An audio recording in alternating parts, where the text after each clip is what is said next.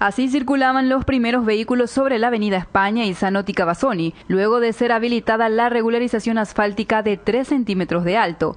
El intendente de Asunción, Arnaldo Samaniego, comentó que el 9 de enero iniciarán la última capa asfáltica de 5 centímetros. Un kilómetro y medio de, trabajo desde de, desagüe pluvial.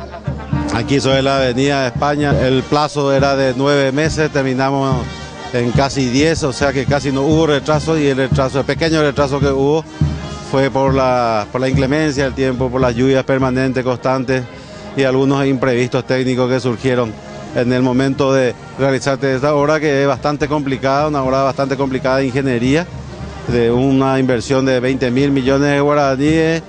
Bueno, estamos habilitando para vehículos livianos, para que la gente con prudencia pueda transitar. Falta aún la segunda etapa, una vez que se, eh, eh, se asiente bien según los ingenieros, eh, faltaría unos 5 centímetros de, de asfaltado que estaremos iniciando esa segunda etapa después ya de pasadas las fiestas. Con imágenes de Fernando Altamirano, informó para BCTV Verónica Burgos.